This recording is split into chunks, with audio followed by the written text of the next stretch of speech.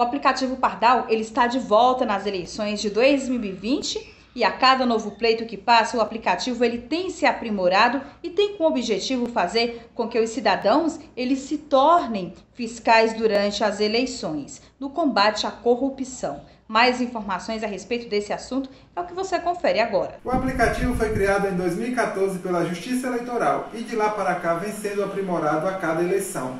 Com o fim do prazo dos pedidos de registro de candidatura, o TSE disponibilizou no último dia 26 a versão mais recente do aplicativo, que pode ser baixado em qualquer celular, tanto Android ou iOS. O objetivo maior do aplicativo é facilitar o trabalho de apuração dos tribunais regionais eleitorais e do Ministério Público Eleitoral, que agora pode contar com o cidadão como fiscal da eleição no combate à corrupção eleitoral.